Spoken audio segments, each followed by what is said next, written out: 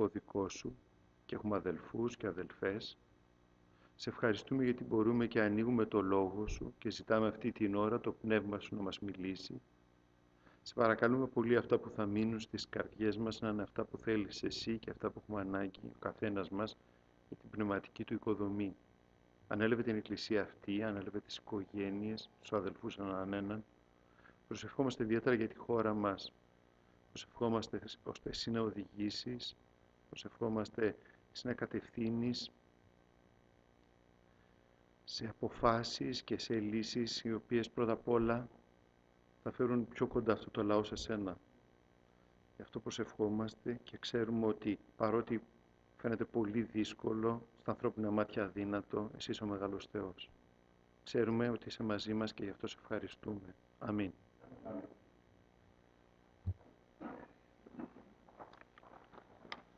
Χαίρομαι πολύ που είμαι μαζί σας. Καθώς λέει και το πρόγραμμα, η περικοπή ε, την οποία θα μελετήσουμε σήμερα είναι από το τέταρτο κεφάλαιο του Ευαγγελίου του Ιωάννη. Οπότε, όσοι έχετε πρόσβαση σε γραφές, κοντά σας, καλό θα είναι να τις ανοίξετε. Διαβάζω από το Ευαγγέλιο σύμφωνα με τον Ιωάννη, το τέταρτο κεφάλαιο. Τα πρώτα 26 εδάφια του, του, του Ευαγγελίου.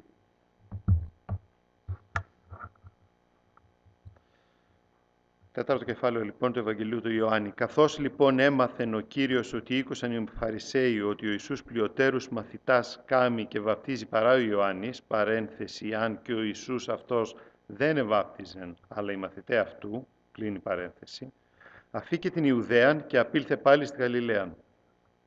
Έπρεπε δεν να περάσει για τη Σαμαρίας. Έρχεται λοιπόν εις πόλη της Σαμαρίας λεγόμενη Σιχάρ, πλησίον του αγρού τον οποίον έδωκε ο Ιακώβης τον Ιωσήφ τον ιών αυτού.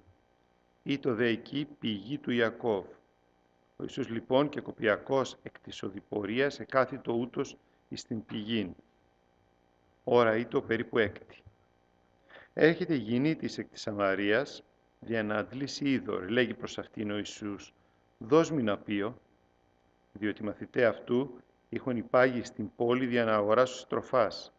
Λέγει λοιπόν προς αυτόν η υγιεινή Σαμαρίτης, «Πώς η Ιουδαίος όν ζητείς να πεις παρεμού ή της είμαι υγιεινή Σαμαρίτης» διότι δεν συγκοινωνούσιν οι Ιουδαίοι με τους Σαμαρίτας. Απεκρίθη ο Ιησούς και είπε προς αυτήν, «Εάν ήξευρες την δωρεά του Θεού και τι συνολέγον σι δώσμη να πείω, σι ήθελε ζητήσει παρά αυτού και ήθελε σι δώσει ειδωρζόν». Λέγει προς αυτόν η γυνή, «Κύριε, ούτε άντλημα έχεις και το φρέαρ είναι βαθύ. Πόθεν λοιπόν έχεις το είδωρ το ζών. Μήπως είσαι μεγαλύτερος του πατρός ημών Ιακώβος, της έδωκεν εις ημάς το φρέαρ και αυτός έπιαν εξ αυτού και ή αυτού και τα θρέματα αυτού; Απεκρίθη ο Ιησούς και είπε προς αυτήν, «Πάσος της πίνει εκ του ύδατος τούτου, θέλει διψήσει πάλιν. Ως της όμως πει εκ του ύδατος το οποίο εγώ θέλω δώσει σε αυτόν, δεν θέλει διψήσει στον αιώνα, αλλά το είδωρ το οποίο θέλω δώσει σε αυτόν, θέλει γίνει εν αυτό πηγή ύδατος αναβλύζοντος η ζωή αιώνιον. Λέγει προς αυτόν η γυνή, «Κύριε, δώσ' μη τούτο το είδωρ, για να μην διψώ, μη δεν έρχομαι εδώ να αντλώ». Λέγει προς αυτήν ο Ιησούς, «Είπαγε, κάλεσον τον άντρα σου και ελθέ εδώ». Απεκρίθη η γυνή και είπε, «Δεν έχω άντρα». Λέγει προς αυτήν ο Ιησούς, «Καλώς είπας ότι δεν έχω άντρα, διότι πέντε άντρας έλαβας και εκείνο τον οποίον έχεις τώρα δεν είναι ανήρ σου. Τούτο αληθές είπας». Λέγει προς αυτόν η γυνή, «Κύριε, βλέπω ότι εσύ είσαι προφήτης. Οι πατέρες ημών εις τούτο το όρος προσεκίνησαν και εσείς λέγετε ότι είναι της Ιερουσαλήμης είναι ο τόπος όπου πρέπει να προσκυνώμε. Λέγει προς αυτήν ο Ιησούς, γίνε πίστευσόν μη ότι έρχεται ώρα ότε ούτε εις το όρος τούτο, ούτε εις τα Ιεροσόλυμα θέλετε προσκυνήσει τον Πατέρα. Εσείς προσκυνείτε εκείνο το οποίο δεν εξεύρετε, εμείς προσκυνούμε εκείνο το οποίο εξεύρωμε, διότι η σωτηρία είναι των Ιουδαίων. Πλην έρχεται ώρα και ήδη είναι, ότι οι αληθινοί προσκυνητές θέλουν να προσκυνήσεις τον Πατέρα εν πνεύματι και αληθεία, διότι ο πατήρ τι ούτως ζητεί τους προσκυνούντας Αυτόν. Ο Θεός είναι πνεύμα και οι προσκυνούντες Αυτόν εν πνεύματι και αληθεία πρέπει να προσκυνώσει.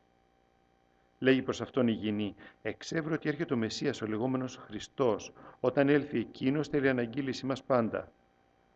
Λέγει προς Αυτήν ο Ιησούς, εγώ είμαι, ο λαλόνση.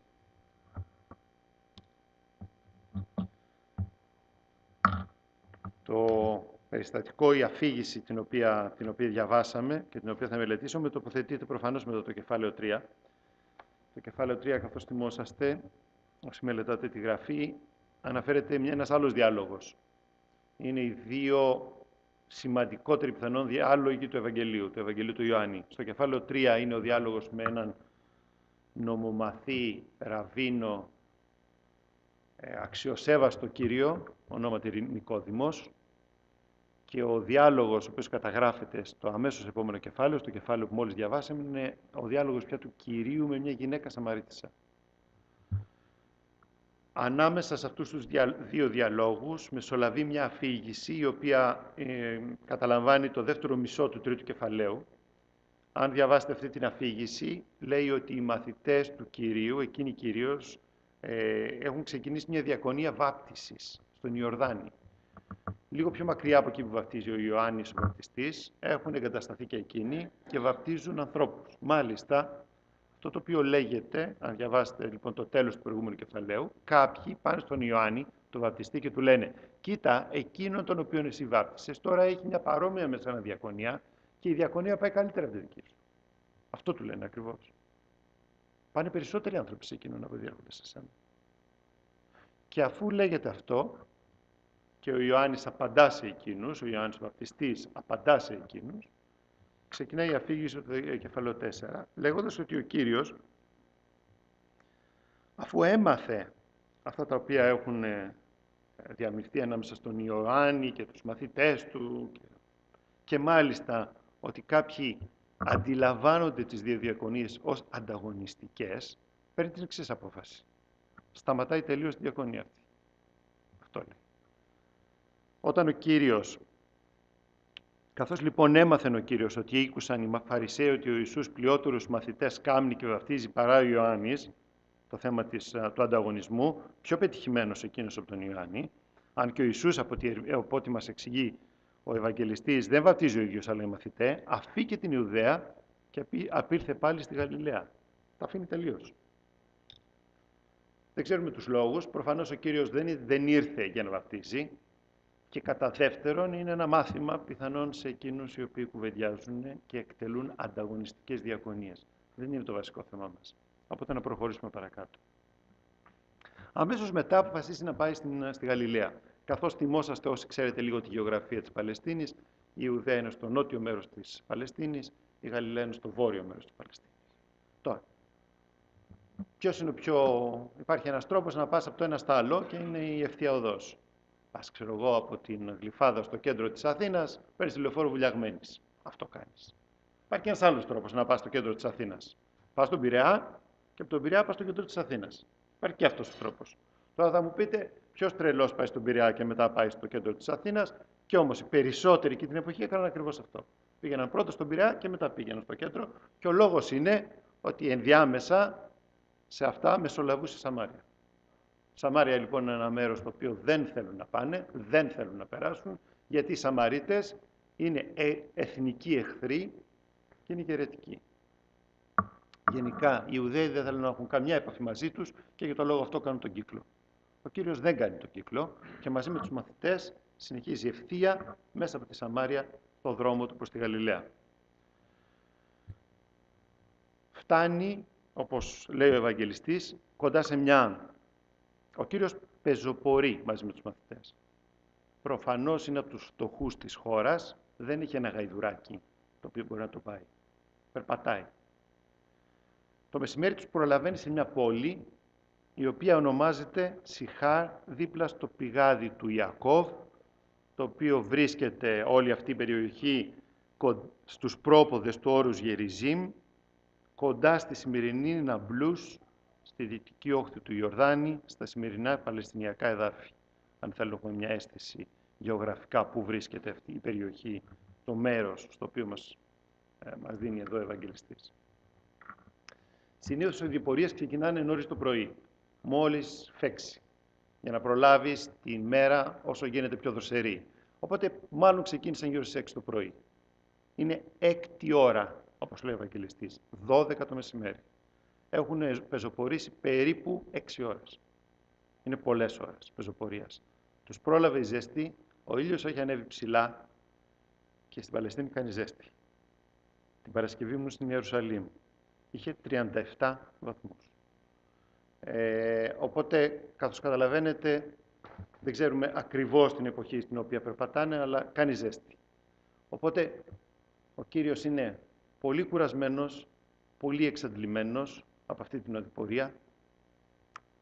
Βρίσκουν ένα πηγάδι και κάθεται, το κείμενο λέει, επί την πηγή, πάνω στο πηγάδι. Ακούγεται λίγο περίεργο. Είναι, ε, φανταστείτε το εξής. Τα περισσότερα από τα πηγάδια αυτά ήταν σκεπασμένα με μια μιλόπετρα. Στο κέντρο της είχε ένα μικρό άνοιγμα. Ένα μικρό άνοιγμα μόνο για να περνάει ο κουβάς. Η μιλόπετρα αυτή ήταν εκεί πρώτα απ' όλα για να μην μπαίνει σκόνη μέσα στο πηγάδι, να μην μπαίνουν ζώα μέσα στο πηγάδι και να μην πέσει κανένα παιδάκι μέσα στο πηγάδι. Για το λόγο αυτό ήταν σκεπασμένα και αυτή η μιλόπετρα είχε τη χρήση από ένα παγκάκι. Πολλοί κόσμος, ο οποίος ήθελε να εξαποστάσει, καθόταν πάνω εκεί. Τι είναι η εικόνα ακριβώς; Είναι ένα πηγάδι σκεπασμένο και ο Κύριος το χρησιμοποιείς σαν παγκάκι. Κάθεται εξουθενωμένος. Δεν παριστάνει τον εξουθενωμένο. Ο, ο Κύριος, ο Θεός, Λόγος που γίνεται άνθρωπος, είναι εξουθενωμένος από την κούραση, τη ζέστη και τη δίψα. Ο Κύριος δίνεται τη σάρκα του ανθρώπου πλήρως. Δεν παριστάνει ότι δίνεται τη σάρκα του ανθρώπου πλήρως. Είναι μόνος του, οι μαθητές έχουν φύγει και έχουν πάει στο διπλανό χωριό για να ψωνίσουν τροφές. Και έτσι ο Ιωάννης σε αυτό το σκηνικό ξεκινάει την αφήγηση ενός από τους σημαντικότερους διαλόγους που έχουμε στα Ευαγγέλια του. Κάθεται ο Κύριος λοιπόν και κάποια γυναίκα από το κοντινό χωριό φτάνει Καταρχήν, η σκηνή είναι περίεργη αυτή καθεαυτή. 12 η ώρα το μεσημέρι, στην κάψα του ήλιου, μόνη της η γυναίκα να έρχεται στο πηγάδι, κάτι δεν είναι απόλυτα φυσιολογικό για αυτή τη γυναίκα τη συγκεκριμένη. Οι γυναίκες πήγαιναν, το πηγάδι είναι εκτός του χωριού, δεν είναι μέσα στο χωριό, κάτω γιατί καταλάβει. Να επιλέγει, οι γυναίκες πήγαιναν μαζί για να αντιλήσουν νερό και δεν πήγαιναν στη μέση της μέρας. Πήγαιναν το πρωί. Οπότε το γεγονός ότι είναι μόνη της και ότι είναι, επιλέγει αυτή την ώρα που ξέρει ότι κανένας άλλος δεν θα είναι στο πηγάδι, κάτι δηλώνει, θα το καταλάβουμε αργότερα. Αλλά αυτή είναι το σκηνικό. Φτάνει εκεί, ο Κύριος της ζητάει νερό να πιει. Και εκείνη δηλώνει εκπληκτή. Λέγει προς αυτόν η γυνή Σαμαρίτης, «Πώς η Ιουδαίος όν ζητείς να πεις παρεμού ή της είμαι γυνή Σαμαρίτης» και σχολιάζει ο Ευαγγελιστής, διότι δεν συγκοινωνούσε η Ιουδαίοι με τους Σαμαρίτες.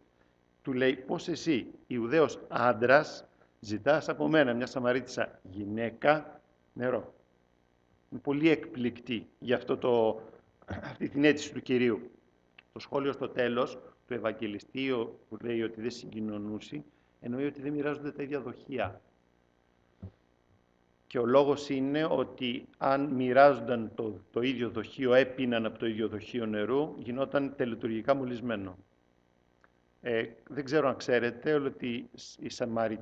οι Σαμαρίτες είναι θρησκεία σε τις άλλες. Υπάρχουν και σήμερα. Υπάρχουν μερικές εκατοντάδες, είναι λίγοι. Εκείνη την εποχή υπήρχαν χιλιάδες. Τώρα υπάρχουν λίγοι. Έχουν και αρχιερέα. Υπάρχει και τώρα αυτός ο αρχιερέας και κάποιος ο οποίος περιγράφει μια σκηνή, κάποιος που γράφει μια σκηνή γύρω στο δεκαετία του 60-70, συναντά αυτό τον αρχιερέα, του φέρνουν ένα, ένα φρούτο, εκείνος βγάζει μαχαιροπύρινο ένα μαχαίρι από την τσέπη του, γιατί δεν θα χρησιμοποιήσει το άλλο, αλλιώς θα μολυνθεί, το καθαρίζει, δεν το ακουμπάει στο πιάτο, γιατί αν το ακουμπήσει στο πιάτο θα μολυνθεί το φρούτο από εκείνον και το τρώει. Οπότε όλο αυτό, αυτό το, το πάρε δώσε σημαίνει μέχρι και σήμερα. Οπότε αυτή, αυτό το σχόλιο του Ευαγγελιστή σημαίνει ακριβώς αυτό. Δεν ακουμπάνε ούτε καν τα ίδια σκεύη φαγητού. Οπότε το όλο θέμα της είναι πάρα πολύ περίεργο. Είμαι γυναίκα, είμαι Σαμάριτησα και μου ζητάς να χρησιμοποιήσεις και το σκεύος μου για να πάρεις νερό. Η ιστορία, καθώς ξέρουμε, σχετίζεται με το νερό που ξεδιψάει, το νερό της ζωής. Αυτό είναι, αυτή είναι η ιστορία. Γύρω από αυτό περιστρέφεται. Και η πρώτη ερώτηση που πρέπει να απαντηθεί επιγόντως είναι η εξής. Ποιους αφορούν τα καλά νέα, σε ποιον απευθύνεται το μήνυμα για το νερό που ξεδιψάει; σε ποιους απευθύνεται το Ευαγγέλιο; Γιατί μιλάς σε μένα, θα πεις Σαμαρίτησα. Στο κεφάλαιο 3 έχει δοθεί μια πρώτη απάντηση. Ποιους αφορά το Ευαγγέλιο; Σε αυτούς που απευθύνεται το Ευαγγέλιο στο εδάφιο 3 είναι σε έναν μορφωμένο, θρησκευόμενο, αξιοπρεπή Ιουδαίο άντρα που ονομάζεται Νικόδημος. Και η ερώτηση είναι μόνο σε τέτοιους. Μόνο σε μορφωμένους, θρησκευόμενους, αξιοπρεπείς δασκάλους του Ισραήλ, όπως ο Νικόδημος; Και ο Ευαγγελιστής Ιωάννης απαντάει με αυτή τη δεύτερη ιστορία με έναν τρόπο ο οποίος αφήνει, με σίγουρος, εκπληκτό τους πρώτους αναγνώστες απόλυτα. Απευθύνεται σε μια Σαμαρίτισσα. Τι είναι οι Σαμαρίτες; Οι Σαμαρίτες είναι εθνικοί εχθροί. Ναι, το Ευαγγέλιο απευθύνεται σε αυτούς που θεωρούμε εθνικούς μας εχθρούς. Δεύτερον, τι είναι οι Σαμαριτές, είναι αιρετικοί. Όταν γίνεται συζήτηση στο τέλος που η γυναίκα βάζει το ερώτημα στον Κύριο εμείς εδώ λατρεύουμε, εσείς εκεί λατρεύετε. Πού είναι το πιο σωστό, ο Κύριος; Παίρνει θέση και της λέει εσείς κάνετε αυτό που δεν ξέρετε. Οι Ιουδαίοι κάνουν αυτό που ξέρουν. Άρα έχουν λαθεμένη διδασκαλία. Το Ευαγγέλιο απευθύνεται και σε αυτούς που εμείς θεωρούμε αιρετικούς. Τι είναι μια γυναίκα για την εποχή; Θα διαβάσω τη γνώμη του πιο επιδραστικού ραβίνου του Μπεν Σιράχ. Από τη Σοφία Σιράχ, κεφάλαιο 42, εδάφια 12 με 13. Παντή ανθρώπο, συμβουλεύει ο Σιράχ, ο μεγαλύτερος ραβίνος, σε κάθε άνθρωπο, εν μέσω γυναικών μη συνέδρευε. Από γάρι ματίων εκπορεύεται εσείς, σκόρος, και από της γυναικός πονηρία γυναικός. Καλύτερη η πονηρία ανδρός από μια αγαθοποιός γυνή. Η γυνή κατεσχύνει σε ονειδισμό. Αυτή είναι η άποψη. Το σημαντικότερο ραβίνου και του πιο επιδραστικού της εποχής. Με τις γυναίκες δεν μιλάς δημοσίως, ακόμα και αν είναι γυναίκα σου, το αποφεύγεις να μιλήσεις δημοσίως και η γυναίκα δεν θεωρείται ικανή να καταλάβει ψηλές έννοιες. Στην εποχή μας δεν θεωρούμε αυτό το πράγμα για τις γυναίκες. Δεν θεωρούμε κάτι αντίστοιχο, αλλά συνεχίζουμε να θεωρούμε αρκετούς ότι είναι διανοητικά και κοινωνικά κατώτεροι. Αυτό είναι σίγουρο το θεωρούμε. Και η απάντηση είναι το Ευαγγέλιο απευθύνεται σε αυτούς που τους θεωρούμε διανοητικά και κοινωνικά κατώτερους. Μην μπούμε στην παγίδα να κουβεντιάζουμε φεμινισμό. Δεν είναι αυτός ο σκοπός της περικοπής. Ο σκοπός της περικοπής είναι σε ακίνους που θεωρούνταν την εποχή κοινωνικά και διανοητικά κατώτεροι, ο Κύριος απευθύνει το Ευαγγέλιο. Τι ήταν μια γυναίκα που στο βιογραφικό της είχε πέντε άντρες και αυτός που έχει τώρα δεν είναι άντρας της; Ξέρω, η ερώτηση αν απευθυνθεί σε ένα σημερινό ακροατήριο είναι είναι μια μοντέρνα δυναμική γυναίκα. Αυτό δεν είναι απάντηση. Αν δεν κάνεις την ερώτηση σημερινό ακροατήριο, αυτό είναι. 2.000 χρόνια, μέχρι 30 χρόνια πριν περίπου, 40 χρόνια, σε ένα ελληνικό ακροατήριο, αν απευθύνονταν η ερώτηση, η απάντηση θα ήταν είναι μια γυναίκα αμαρτωλή. Αυτή θα ήταν η απάντηση; Θα παίρναμε. Και αυτή ήταν η, η, η απάντηση προφανώς και αυτό που περίμενε οποιοδήποτε αναγνώστης του Ευαγγελίου. Και μάλιστα, καθώς ξέρετε, η αμαρτία μετρούσε διαφορετικά στον άντρα και τη γυναίκα σε πάρα πολλές κοινωνίες. Ένας άντρας ο οποίος είχε πέντε γυναίκες στο βιογραφικό του μπορεί να ήταν και καρδιοκατακτητής. Μια γυναίκα που είχε πέντε άντρες στο βιογραφικό της μετρούσε αλλιώς. Ήταν πόρνη. Αυτό συνέβαινε. Και έτσι μετριόταν η αμαρτία ανάμεσα στους δυο. Το Ευαγγέλιο απευθύνεται σε αμαρτωλούς. Το, το Ευαγγέλιο απευθύνεται σε εθνικούς εχθρούς, σε αιρετικούς, σε κοινωνικά υποδέστερους, σε αμαρτωλούς. Να ξανακάνουμε λοιπόν το, το ερώτηση. Υπάρχουν εμπόδια για να, να έχει κάποιος πρόσβαση στο Ευαγγέλιο, στα καλά νέα, στην άφθονη ζωή, στο ζωντανό νερό; Πάρτε όλα, όλες αυτές τις εικόνες. Υπάρχουν προδιαγραφές εθνικές, φιλετικές, οικονομικές, ηθικές. Η απάντηση του Ευαγγελίου του Ιωάννη, του Κυρίου προς τη Σαμαρίτισσα, στους, Ευαγγε... στους αναγνώστους του Ευαγγελίου, στους σημερινούς αναγνώστους του Ευαγγελίου σε εμάς σήμερα, είναι ότι δεν υπάρχουν. Το Ευαγγέλιο απευθύνεται σε όλους. Και αν κάποιος δεν αισθάνεται αρκετά καλός, αρκετά μορφωμένος, αρκετά ευγενής, αρκετά αποδεκτός, η μορφή της Σαμαρίτισσας απαντάει σε όλα. Όπως απαντάει αργότερα και η μορφή του Άσου του Γιού στο Ευαγγέλιο του Λουκά. Το Ευαγγέλιο λοιπόν απευθύνεται σε όλους και δεν εξαιρεί κανέναν. Και αυτή είναι η πρώτη παρατήρηση που πρέπει να κρατήσουμε από την ιστορία μας. Πάρα πολύ βασική παρατήρηση. Συνεχίζει διαφήγηση στο εδάφιο 10, απαντάει ο Κύριος και της λέει «Ανοίξε βρε τη δωρεά του Θεού και τι συνολέγον σι δώσμη να πείω, σι ήθελε ζητήσει παρά αυτού και ήθελε σι δώσει η δορζόν». Προσέξτε τις λέξεις στο, κεφάλαιο, στο εδάφιο 10. Την δωρεά του Θεού. Και παρακάτω στο εδάφιο 14, όταν πάλι θα της μιλήσει, θα πει «Ώστις όμως πει εκ του ύδατος το οποίο εγώ θέλω δώσει σε αυτόν, δεν θέλει διψήσει στον αιώνα, αλλά το είδωρ το οποίο θέλω δώσει σε αυτόν, θέλει γίνει ένα αυτό πηγή ύδατος αναβλύζοντος η ζωή αιώνιον». Αυτή είναι η δεύτερη πάρα πολύ σημαντική παρατήρηση. Το Ευαγγέλιο απευθύνεται σε όλους και το Ευαγγέλιο είναι δωρεάν. Το Ευαγγέλιο είναι δωρεάν συγκλονιστική αλήθεια την επαναλαμβάνουμε, γιατί σαν Ευαγγελικοί μιλάμε περισσότερο πιθανόν από όλους για τη χάρη του Θεού. Τη χάρη του Θεού. Χάρη του Θεού σημαίνει δωρεάν. Αυτόματα είναι συνώνυμες λέξεις αυτές. Η χάρη του Θεού. Α, μας είναι πολύ δύσκολο αυτή την, την αλήθεια να τη ζήσουμε. Πολύ δύσκολο. Εύκολα τη λέμε, εύκολη τη νομίζουμε, δύσκολη είναι και ξέρετε ποιος είναι ο λόγος. Όταν ο Απόστολος Παύλος στην επιστολή προς Ρωμαίους, εκεί στο τρίτο κεφάλαιο, στο τέλος του τρίτου κεφαλαίου, κάνει μια από τις σημαντικότερες ε, αναλύσεις για τη χάρη του Θεού, στο τέλος βάζει το χέρι του στον τύπο των ύλων. Αφού γράψει αυτή την ανάλυση, στο 27ο εδάφιο θα κάνει μια ρητορική ερώτηση και θα δώσει την απάντηση. Θα πει, πού λοιπόν η καύχησης, θα ρωτήσει ρητορικά και θα απαντήσει εκλείσθη έξω. Αυτή είναι, αυτή είναι η δυσκολία μας. Η δυσκολία με τη χάρη είναι ακριβώς αυτή. Αυτό μας πονάει. Η χάρη απαιτεί απόλυτη ταπείνωση. Η χάρη απαιτεί να αισθάνεσαι γυμνός. Αν έρχεσαι με φανταχταρά ρούχα, είτε δικαιοσύνης, είτε καλοσύνης, είτε μόρφωσης, είτε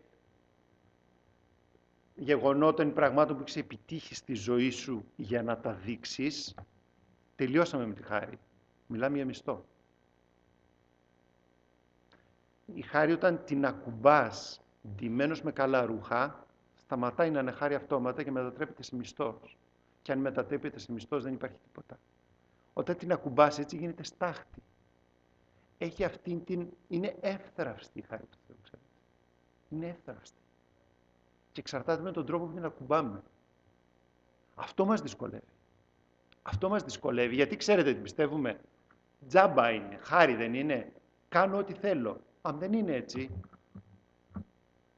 γιατί αν δεν την προσεγγίζουμε με καύχηση, λέει ο, ο Παύλος, πάβει να είναι χάρη. Και αυτή είναι η μεγαλύτερη δυσκολία μας.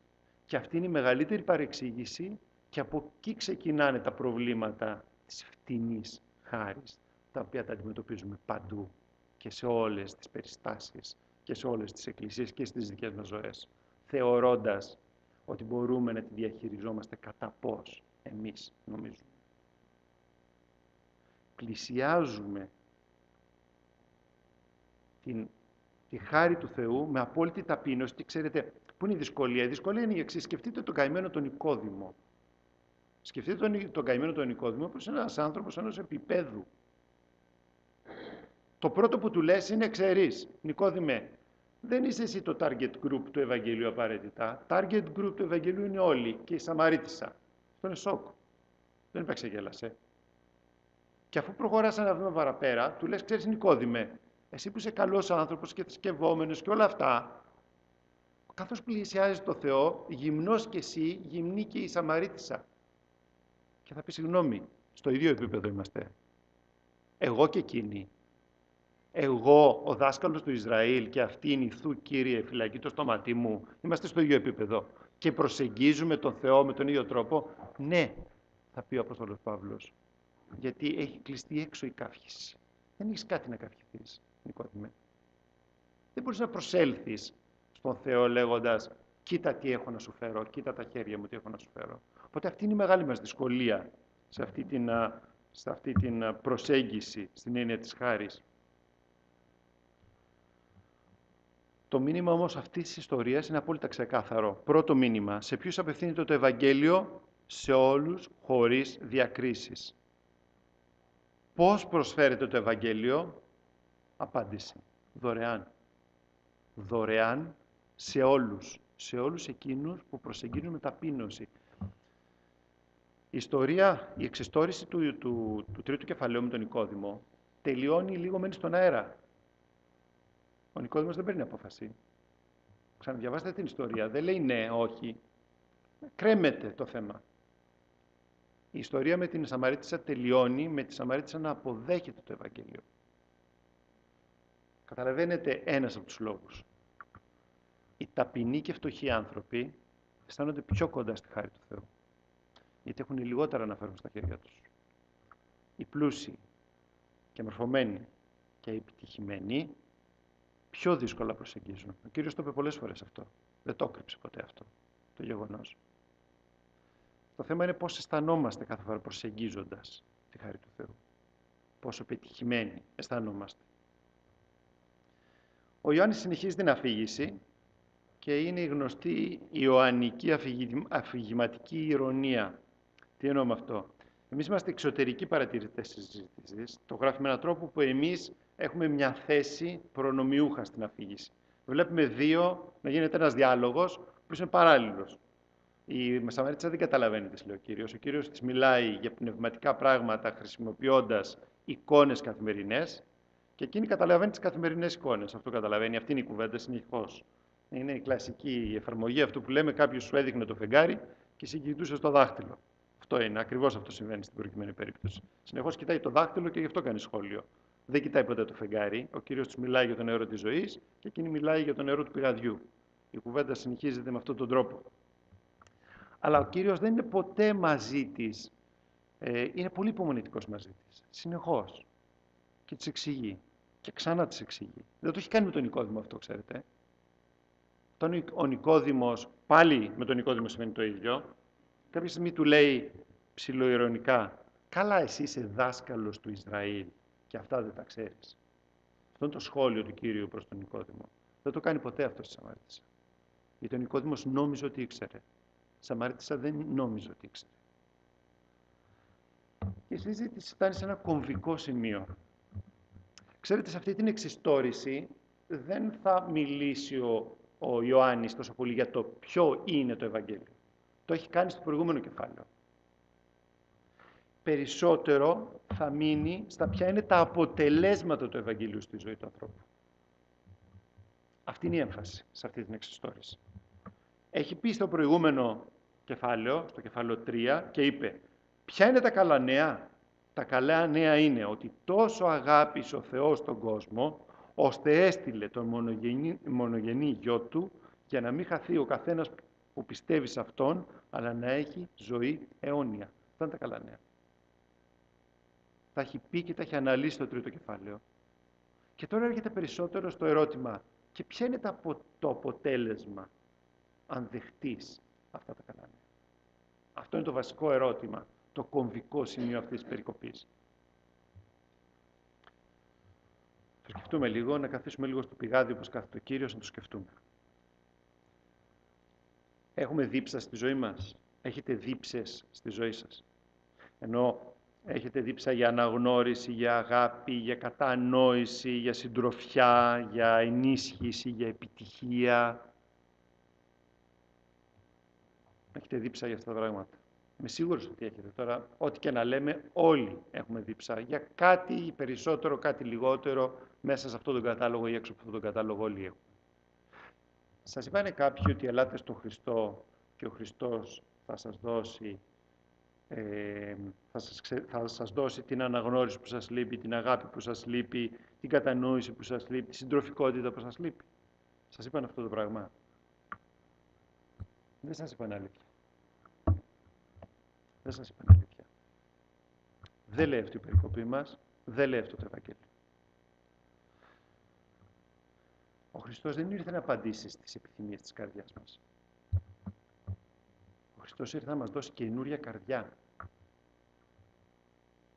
Σε αυτή την παρεξήγηση, σε αυτή την τεράστια παρεξήγηση, οφείλονται πάρα πολλές πικρίες και απογοητεύσεις. Γιατί πιστεύουμε ότι θα προσεγγίσουμε τον Χριστό με αυτά που εμείς νομίζουμε ότι θέλουμε και Εκείνος θα έρθει να απαντήσει σε αυτά που εμείς θέλουμε. Πιστεύουμε το νερό στο οποίο μιλάει, το, το, για το οποίο μιλάει αυτή η περικοπή είναι ένα νερό που θα έρθει να απαντήσει σε αυτά που εμείς νομίζουμε ότι είναι οι προτεραιότητές μας.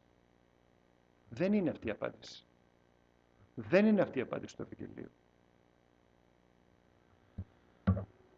Παλιότερα, και παλιότερα σημαίνει ξεκινώντας από τους αρχαίους και Έλληνες και Ρωμαίους και έφτανε μέχρι τον προηγούμενο αιώνα, αν πηγαίνατε σε κανένα σεμινάριο αυτοβοήθειας, αν υπήρχαν σεμινάρια αυτοβοήθειας, υπήρχαν πάντως φιλόσοφοι, υπήρχαν ηθικοί δάσκαλοι, υπήρχαν όλοι αυτοί, θα έλεγαν, και αυτό ήταν το μήνυμα, να γίνεις ένας πειθαρχημένος άνθρωπος που με τη θέλησή του και την αυτοπιθαρχία του θα επιβάλλεται στις κατώτερες τάσεις και επιθυμίες. Αυτή ήταν η άποψη, αυτό ήταν το μήνυμα. Μάθε να ζεις ελέγχοντας τη δίψα σου. Αυτό ήταν ουσιαστικά, αν το μεταφράζαμε σε αυτά που διαβάζουμε τώρα. Μάθε να ζεις ελέγχοντας τη δίψα σου. Μάθε να είσαι εγκρατής. Διψασμένος, αλλά gentleman. Αυτή ήταν η άποψη μέχρι τον προηγούμενο ε, αιώνα. Ποια είναι η άποψη τώρα; Το εκρεμές έχει γυρίσει τελείως. Στην άλλη πλευρά είμαστε. Έχει γυρίσει από εδώ. Τι λέει σήμερα ένα παρόμοιο σεμινάριο; Κοίταξε μέσα σου να δεις τις βαθύτερες επιθυμίες και ανάγκες, όπως εσύ τις εκλαμβάνεις. Μη τις πολεμήσεις, μη τις καταπιέσεις, αποδέξου τες, αγκάλιασέ τες και προσπάθησε να τις ικανοποιήσεις. Και έτσι θα γίνεις ο αυθεντικός εαυτός σου. Αυτό είναι το μήνυμα. Έχουμε γυρίσει, το εκρεμές έχει πάει από εδώ εκεί. Τι λέει αυτή η άποψη; Βρες αυτό που πιστεύεις ότι είναι οι αιτίες της δίψας σου και προσπάθησε να τις ικανοποιήσεις πλήρως. Αυτό θα σε κάνει αυθεντικό άνθρωπο. Γιατί αυτό είσαι. Αυτές οι επιθυμίες δείχνουν ποιος πραγματικά είσαι. Εκπληρώνοντάς τες, ουσιαστικά βρίσκεις τον αυθεντικό εαυτό σου. Πριν είχαμε τη βασιλεία του νου και της θέλησης και τώρα πήγαμε στη βασιλεία των συναισθημάτων και των επιθυμιών. Αυτό είναι το εκκρεμές. Στην Εκκλησία, αν τα εφαρμόσεις αυτά, το πρώτο οδηγεί σε ηθικισμό, το δεύτερο οδηγεί σε εκκλησίες πελατών, όχι σε εκκλησίες μαθητών. Ούτε το ένα είναι Ευαγγέλιο, ούτε το άλλο είναι Ευαγγέλιο. Κανένα από τα δύο δεν είναι Ευαγγέλιο. Γιατί ο Κύριος δεν μιλάει για ένα νερό το οποίο θα ικανοποιήσει ανάγκες δίψες όπως τις ορίζουμε εμείς. Μιλάει για ένα νερό που θα ικανοποιήσει την δίψα μας τη δίψα κάτω από όλες αυτές που νομίζουμε ότι έχουμε. Είναι αυτό που λέει ότι ακόμα κι αν τα έχεις όλα, είναι αυτό που, το κάτι που θα σου λείπει.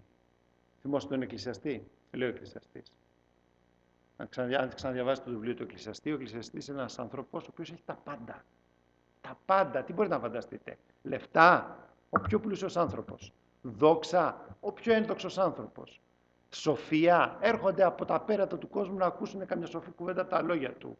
Γυναίκες, σεξ, χίλιες. Χίλιες, τι τις έκανε χίλιες, χίλιες. Ό,τι μπορείτε να φανταστείτε είχε αυτός ο άνθρωπος. Τα πάντα. Και ξεκινάει το βιβλίο του Εκκλησιαστή, καθώς ξέρετε, με τη φράση «Ματαιώτης, ματαιωτήτων, τα πάντα ματαιώτης». Με αυτό. Αφού τα έχει απολαύσει όλα ο Εκκλησιαστής, υπάρχει μια δίψα κάτω από τη δίψα από τις δίψες. Και η αντίστροφη ερώτηση, τι είναι αυτό που ακόμα και τα χάσεις όλα, είσαι ξεδιψασμένος. Τι είναι αυτό που ακόμα και αν είσαι φτωχός, ακόμα και αν είσαι άρρωστος, ακόμα και αν έχεις προβλήματα σχέσεων, πάλι θα αισθάνεσαι βαθιά μέσα σου ξεδιψασμένος. Αυτό είναι το βασικό ερώτημα. Και σε αυτό απαντάει ο Κύριος. Αυτή είναι η βασική ερώ, απάντηση για το νερό το οποίο ξεδιψάει. Και η απάντηση την οποία δίνει συνεχώς είναι στο κεφάλαιο 3, το προηγούμενο κεφάλαιο, στον Νικόδημο, έχει πει πρέπει να ξαναγεννηθείς Νικόδημο. Θα πει. Και εδώ θα πει, σε αυτό το κεφάλαιο, θα χρειάζεσαι το νερό της ζωής, Σαμαρτίσα. Και ο προφήτης θα πει, χρειαζόστε μια καινούρια καρδιά, έχετε μια πέτρινη καρδιά. Πρέπει να βγει αυτήν και να μπει μια σάρκινη καρδιά. Και αυτή η άλλη καινούρια καρδιά θα επιθυμεί αλλιώς.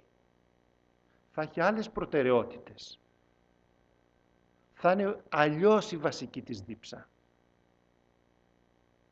Αν χάσουμε αυτή, το, αυτό το πολύ βασικό νόημα και αυτό το πολύ βασικό μήνυμα, τότε δεν καταλαβαίνουμε το τι λέει το τέταρτο κεφάλαιο και το τι λέει γενικότερα το Ευαγγέλιο. Σαμαρίτησα γυρνάει στη σωματική δίψα της. Κύριε θα πει, δώσ' μου το νερό για να μην έρχομαι εδώ να αντλώ. Και τότε ο Κύριος γερνώντας της λέει κάτι το οποίο φαίνεται περίεργο, άσχετο, πιθανόν και προσβλητικό. Της λέει, πήγαινε και κάλεσε τον άντρα σου και λέει εδώ. Και εκείνη απαντάει, δεν έχω άντρα και ο Κύριος της απαντάει, ναι πέντε είχες και αυτός που έχεις τώρα δεν είναι πραγματικός ο άντρας. Τώρα θα μου πείτε τι σχέση έχει τώρα αυτό; Δηλαδή, τι είναι αυτή η ερώτηση; Πήγαινε φέρε τον άντρα σου. Πώς σχετίζεται με τα προηγούμενα; Κάποιοι λένε ότι η συζήτηση έχει τελματώσει και ο κύριος προσπαθεί να ξεκινήσει πάλι τη συζήτηση. Δεν το πιστεύω. Πιστεύω ότι έχει σχέση με το προηγούμενο. Ξέρετε τι γίνεται. Έχετε δει ότι η Σαμαρίτισσα όλη την αίσθηση της δίψας την, την κολλάει στο νερό. Το νερό που έχει μπροστά της, το πηγάδι, το κουβά. Εκεί, εκεί είναι όλη η κουβέντα της δίψας, εκεί είναι γύρω από τη Σαμαρίτισσα. Και ο κύριος της λέει, για γύρνα λίγο στη ζωή σου. Για γύρνα λίγο στη ζωή σου. Μπορείτε να σκεφτείτε μια γυναίκα σε ένα χωριό της Παλαιστίνης, 2.000 χρόνια πριν, να έχει πάει από σχέση σε σχέση, από άντρα σε άντρα, από προσπάθεια συντροφικότητας, αγάπης, αποδοχής, σεξ, ό,τι θέλετε εσείς πέστε, έξι φορές. Τι δίψα έχει αυτή η γυναίκα; Τι της έλειπε τόσο πολύ; Με ποιο τρόπο αψηφούσε τόσο πολύ αυτή την κοινωνία του χωριού, με έναν τέτοιο έντονο τρόπο, ώστε να πάει από άντρα σε άντρα έξι φορές. Και ο Κύριος αυτή, αυτό που την καλεί είναι, για γυρνά λίγο στη ζωή σου. Για δες, τι δίψα είναι αυτή που σε τρώει.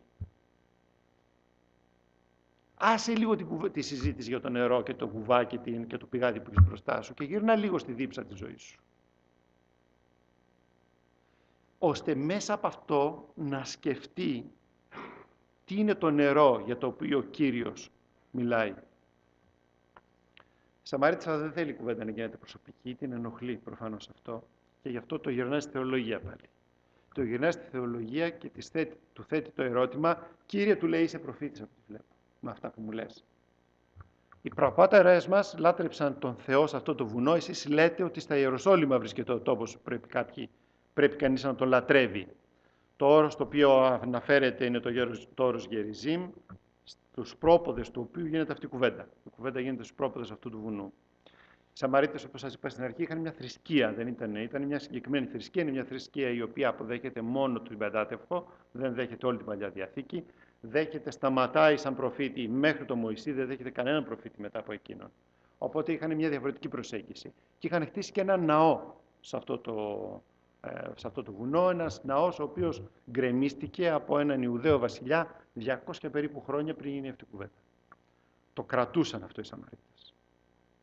Τους γκρέμισαν το ναό οι Ιουδαίοι. Και 20 χρόνια περίπου πριν γίνει αυτή η συζήτηση, κάποιοι Σαμαρίτες μπαίνουν μέσα στο ναό στα Ιεροσόλυμα και σκορπίζουν στην αυλή του ναού ανθρώπινα κόκαλα. Με τον τρόπο αυτό βεβηλώνουν το ναό, το κάνουν αυτό λίγες μέρες πριν το Πάσχα και το Πάσχα δεν μπορεί να γιορταστεί εκείνη την, εκείνη την ε, χρονιά, γιατί ο ναός έχει βεβηλωθεί θα έπρεπε να καθαριστεί εξ αρχής πλήρως για να ξαναγίνει, να εξαγνιστεί για να γίνει.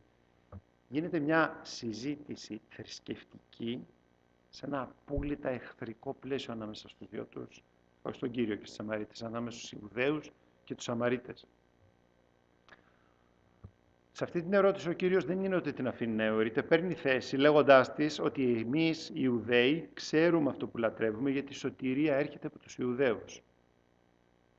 Όμως, πει όμως, έρχεται ώρα και ήδη είναι που οι αληθινοί προσκυνητές θα προσκυνούν τον Πατέρα με πνεύμα και αλήθεια γιατί ο Πατέρας αυτού ζητάει τους προσκυνούντες αυτόν. Ο Θεός είναι πνεύμα και οι προσκυνούντες αυτόν εν πνεύματι και αληθεία. Πρέπει, πρέπει να προσκυνούν. Η σωτηρία έρχεται μέσα από τη γραμμή των προφητών, μέσω του λαού Ισραήλ, μέσω των Πατριαρχών και του Ιούδα. Η σωτηρία ε, φτάνει με αυτόν τον τρόπο. Η ώρα έφτασε, θα πει ο Κύριος όμως, όπου μέσω του θανάτου και της Ανάστασης η λατρεία προς τον Θεό θα αλλάξει για πάντα. Ξέρετε, αυτή η φράση «η ώρα που έρχεται» πάντα στο Ευαγγέλιο του Ιωάννη έχει μία και μόνο ε, σημασία είναι η ώρα όπου ο Κύριος θα θυσιαστεί. Πάντα είναι αυτή η έννοια. Όταν, όταν εδώ λέει ότι η ώρα θα έρθει και ήδη ήρθε, εννοεί αυτό ακριβώς. Ήρθε η ώρα, ο Κύριος κατέβηκε και ήρθε η ώρα που θα κάνει το έργο του. Αυτή είναι η ώρα. Και αυτό αλλάζει τον τρόπο που λατρεύουμε το Θεό. Θα πει ο, Κύριος, ο Κύριος ότι τώρα πια δεν υπάρχουν χωρικοί περιορισμοί που λατρεύει το Θεός δεν είναι πια η συζήτηση για τα θα είναι στο Ιεροσόλυμα ή θα είναι στο όρος αυτό, γιατί τώρα θα τους πει ουσιαστικά και θα εξηγήσει αργότερα, μέσα θα εξηγήσει την Καινή Διαθήκη, ο παντοτινός αρχιέρεας φανερώθηκε, η παντοτινή θυσία προσφέρθηκε, η πρόσβαση στο ηλαστήριο είναι για όλους. Και τώρα ξαναγυρνάμε στην ουσία της λατρείας. Θυμόστε τι έλεγαν οι προφήτες. Τι έλεγαν οι προφήτες στον λαό Ισραήλ πολλά χρόνια πριν μιλώντας εξ ονόματος του Κυρίου του Θεού. Έλεγαν, δεν θέλω, έλεγε ο Κύριος μας των προφητών, ούτε θυσίες, ούτε ολοκαυτώματα. Εγώ θέλω να με λατρεύετε με καθαρή καρδιά. Εκείνοι πίστευαν ότι ήταν ο ναός που έκανε τη μεγάλη αλλαγή και τη μεγάλη διαφορά. Ήταν το τυπικό των θυσιών που έκανε τη μεγάλη αλλαγή. Και πάντα οι προφήτες τους γύριζαν πίσω και τους έλεγαν η ουσία του θέματος είναι η καρδιά σας. Απάντα αυτό τους έλεγαν οι προφητές. Και τώρα έρχεται η ώρα που ο Κύριος βάζει τα πράγματα ακριβώς εκεί που πάντα έπρεπε να είναι. Η ουσία της λατρείας, θα πεις στη Σαμαρίτισσα, είναι η καρδιά σου. Δεν είναι η κουβέντα για τα Ιεροσόλυμα πια, δεν είναι η κουβέντα για το όρος. Η κουβέντα είναι εσύ εν πνεύματι και αληθεία. Ωραία αυτά θα του πει η Σαμαρίτησα. Περιμένουμε το Μεσσία. Ξέρετε, οι Σαμαρίτες περίμεναν το Μεσσία όπως και οι Ιουδαίοι. Τον περίμεναν διαφορετικά. Οι Ιουδαίοι τον περίμεναν σαν τον Δαβιδικό βασιλιά, έναν βασιλιά τύπου Δαβίδ, έναν μεγάλο βασιλιά, δυνατό, ο οποίος θα κατακτήσει κλπ. Δεν τον περίμεναν έτσι οι Σαμαρίτες. Οι Σαμαρίτες τον περίμεναν σαν δάσκαλο. Αυτή ήταν η βασική έννοια του Μεσσία στους Σαμαρίτες. Θα έρθει ο δάσκαλος ο μεγάλος και θα μας τα πει όλα αυτά, που λέει η Σαμαρίτησα, και τότε τελειώνει με την φράση όπου ο Κύριος φανερώνεται σε αυτήν την ταπεινή γυναίκα. Εγώ είμαι αυτός που σου μιλάει. Θέλω να κλείσω με αυτό το Ευαγγέλιο του Ιωάννη. Έχει, σας είπα, αυτούς τους περίεργους διαλόγους. Του Νικόδημου, που ο Νικόδημος δεν πολύ καταλαβαίνει τι γίνεται. Τη Σαμαρίτησας, που η Σαμαρίτησα όλο το διάλογο δεν πολύ καταλαβαίνει τι γίνεται. Αργότερα, αν παρακολουθήσετε τη συζήτηση του Κυρίου με τους Ιουδαίους, που τους μιλάει για το ζωντανό, για το, για το ψωμί, το οποίο χορταίνει, πάλι δεν πολύ καταλαβαίνουν οι Ιουδαίοι τι τους λέει. Οι λεπτομέρειες τους διαφεύγουν. Ξέρετε, σε τι μένει πάντα στο τέλος οποιοδήποτε διάλογος, οποιαδήποτε εξιστόρηση. Πάντα, πάντα. Στο Ευαγγέλιο, του Ιωάννη, στο Ευαγγέλιο του Ιωάννη γίνεται πάντα αυτό. Και προφανώς ο Ιωάννης θέλει να μας κάνει να εστιάσουμε εκεί. Καθώς τελειώνει ο προηγούμενος διάλογος με τον Νικόδημο, θα πει στο τέλος ο Κύριος. Επειδή δεν απέστειλε ο Θεός τον Υιόν αυτού εις τον κόσμο για να κρίνει τον κόσμο, αλλά για να σωθεί ο κόσμος δι' αυτού. Ώστις πιστεύει σε Αυτόν δεν κρίνεται. Ώστις όμως δεν πιστεύει είναι ήδη και κρυμμένος, διότι δεν επίστευσε εις το όνομα του μονογενούς Ιού του Θεού. Στη Σαμαρίτησα θα πει, εγώ είμαι που σου λαλώ, που λαλώ μαζί σου.